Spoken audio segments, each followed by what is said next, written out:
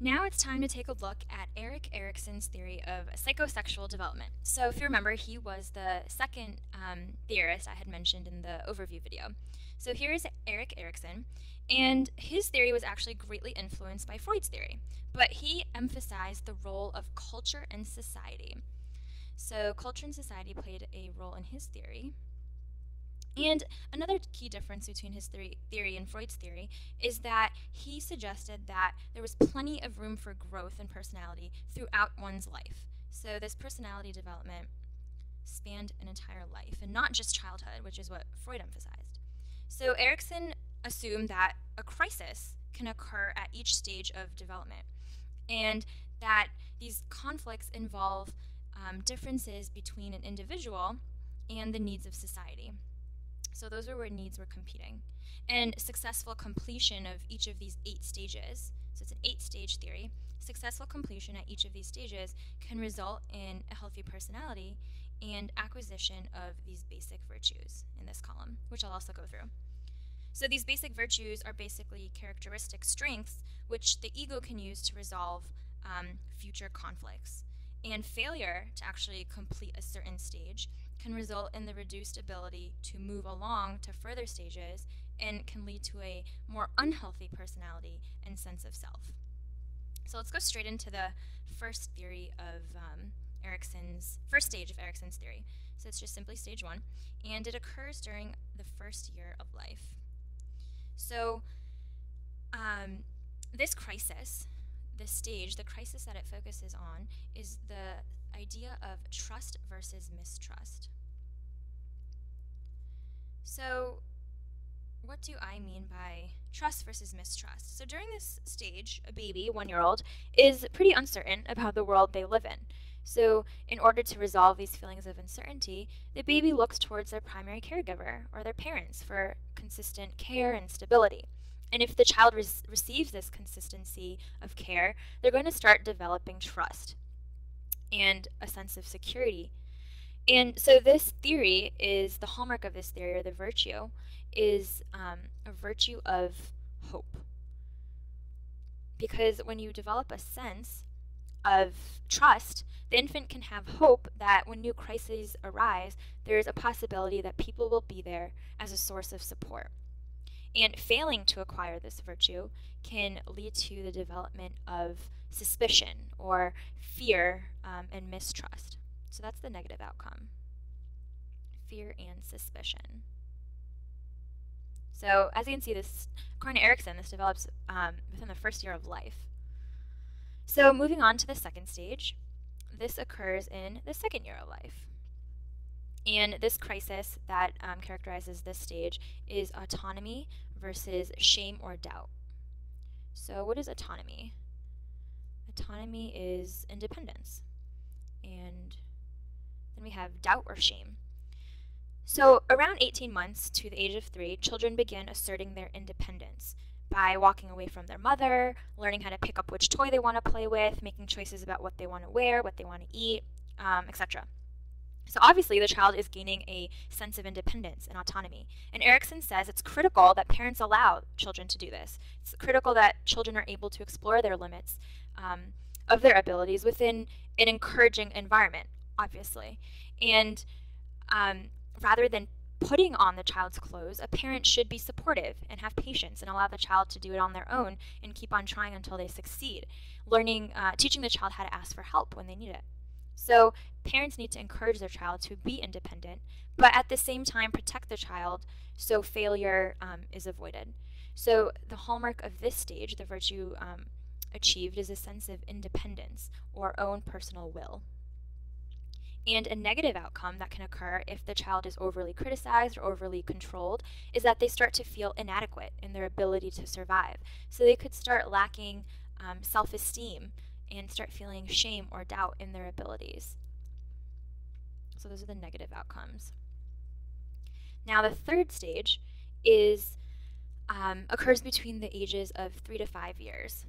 So in this stage, children assert themselves even more, more frequently. So the crisis here that is taken a look at is initiative versus guilt. So during this period, the primary feature involves um, the child regularly interacting with other kids at school.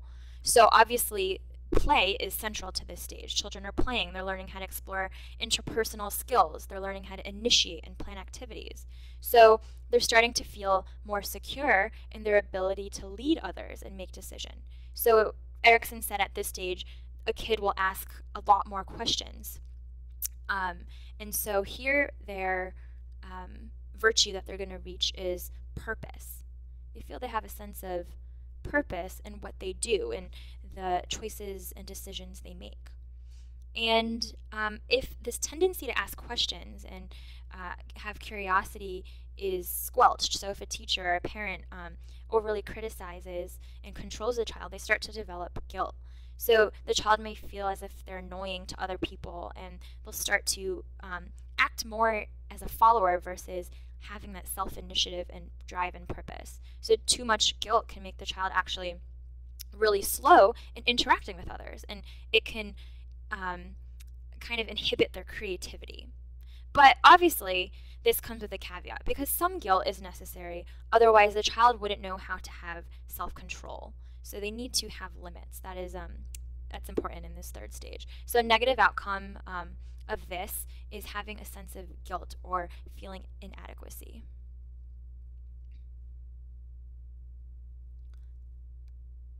Oop, I think I spelled that wrong. Inadequacy. There we go.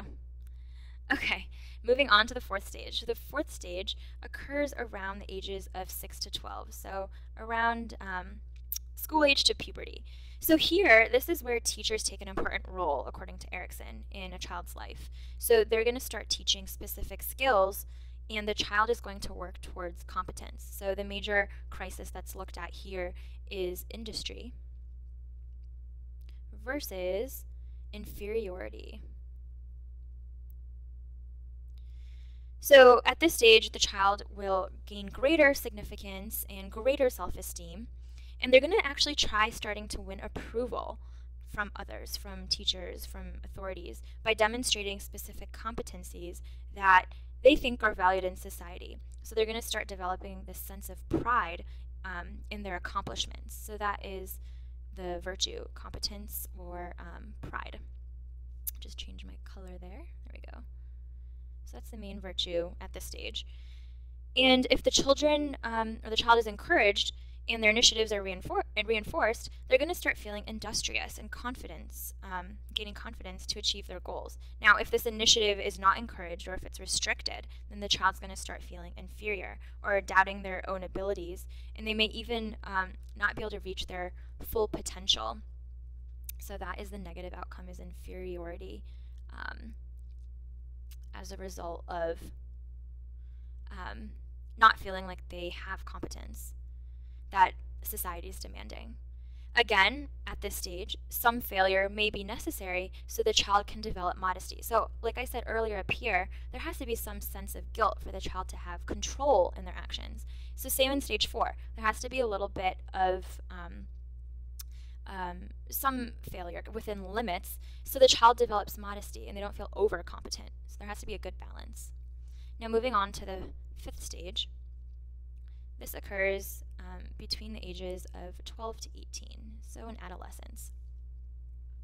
So this is a transition from childhood to adulthood, and this is probably one of the most important roles um, in Erikson's personality psychosocial development theory. So here, the child um, or teenager now is actually becoming more independent and they're trying to look at their future in terms of career, relationships, families, whatever. So they want to start feeling as if they belong to society and if they fit in. So this is a major crisis looked at here is identity versus role confusion. Now, um, in this stage, the child has to learn the roles he'll occupy as an adult. So he may or she may actually re examine their identity to try to figure out who they really are. And body image plays a huge role in this because the body is changing during this time of age. Um, they explore possibilities and more um, um, based upon outcomes, and they start to form this identity as a result of this exploration. Now, failure to do so can um, result in things that the child may say like i don't know what i want to be when i grow up and this can lead to role confusion. So the positive virtue that first comes out of this is um, fidelity or um, an ability to um, see oneself as unique and an integrated person as we're trying to identify who we are. Now, the negative outcome of this results in role confusion, obviously, and it can also result in um, confusion of who one is. It could cause rebellion um, and feelings of unhappiness. So, those are the hallmarks of a negative outcome at stage five. Now, stage six, we're moving into young adulthood. So, around age 18 to about 40, um, young adulthood to adulthood. So here the crisis that's being looked at is intimacy versus isolation. And I will explain that in one second. So in young adulthood, we begin to share ourselves now more intimately with other people. We're trying to find love. So we explore relationships leading to longer term commitments. Um, and completion of this stage can lead to comfortable relationships and a sense of commitment, safety, and care. Um, avoiding intimacy, avoiding this stage, can lead to negative outcomes such as isolation or loneliness or even depression. So here we're forming close personal relationships, and this is characterized by love. And the negative outcomes can form to um, an inability to form relationships. So it could lead to obviously isolation and unhappiness. The seventh stage occurs in middle adulthood. So this is around ages 40 to probably retirement. And here, adults begin to establish, or they already have an established career. So they begin to settle down in their relationship, um, begin um, make families the center of their lives, and they develop a sense of being a part of this bigger picture. So here the crisis is generation or generativity has to deal with, their generation, versus stagnation. So, stagnation means feeling stuck, as if you're not progressing. So, usually, adults, they feel as if they give back to society through raising their children or being productive at work, uh, becoming involved in community activities and organizations. So, here, they begin to develop a sense of care for others. They're looking out for the welfare of others. And the negative outcome uh, that can occur if they fail to achieve those objectives is that they start to feel stagnant, they feel unproductive.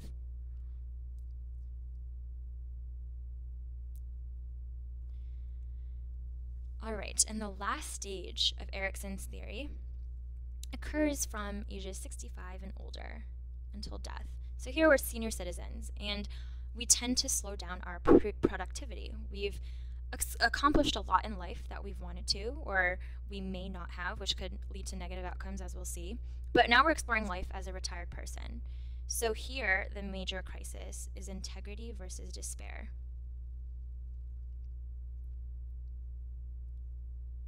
So obviously in older age, we're more wise. Uh, during this time, we contemplate back on our lives, reminisce, and people of this age start to feel as if um, their lives are productive or maybe unproductive. So they may feel guilt about their past or feel as if they didn't accomplish something that they wanted to, certain regrets, or feel dissatisfied. Um, so, first, the main virtue is having that sense of wisdom. But if we feel as if we haven't accomplished what we wanted to in life and we feel unproductive, and that can lead to despair and dissatisfaction upon death.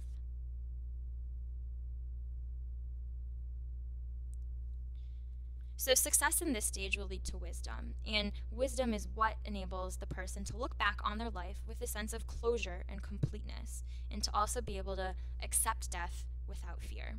So, this is Erikson's map of our stages of psychosocial development throughout life. And if you if you think about it, each of these stages involves the culture and society with which we develop in, and it occurs throughout our life.